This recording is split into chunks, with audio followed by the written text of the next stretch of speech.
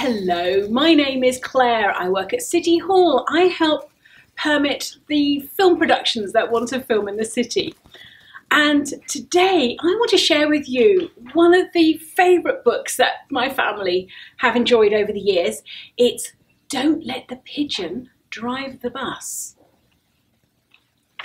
So, hi, I'm the bus driver. Listen, I've got to leave for a little while. So can you watch things for me until I get back? Thanks. Oh, and remember, don't let the pigeon drive the bus. And here's the bus driver walking away. And can you see little pigeon there? She's looking. I thought he'd never leave. Hey, can I drive the bus? Please. I'll be careful. I tell you what, I'll just steer.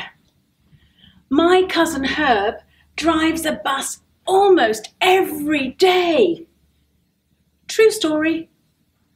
Oh, look at her face. She knows we don't believe her. Vroom, vroom, vroom, vroom. Pigeon at the wheel. No?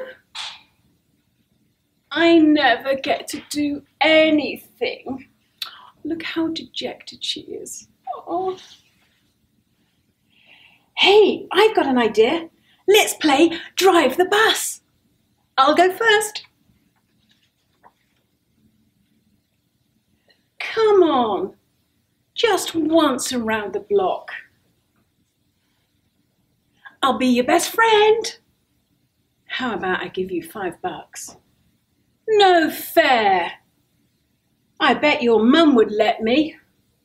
What's the big deal? It's just a bus. I have dreams, you know. Fine. Let me drive the bus! Oh, look at that. She's so frustrated and dejected. I'm back.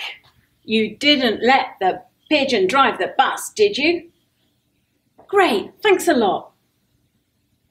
There's Pigeon. Uh-oh. Bye. Oh, look at poor Pigeon. She's so sad.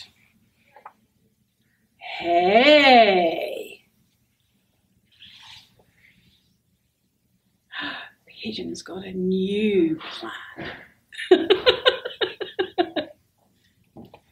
I hope you enjoyed that.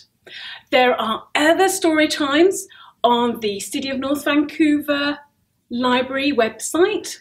Just check the links below.